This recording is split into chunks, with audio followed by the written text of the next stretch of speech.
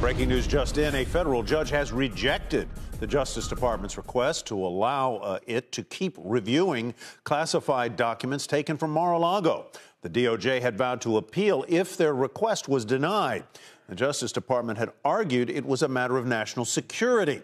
But the judge in the filing rejected the argument, writing that, quote, the court does not find it appropriate to accept the government's conclusions on these important and disputed issues without further review by a neutral third party in an expedited and orderly fashion.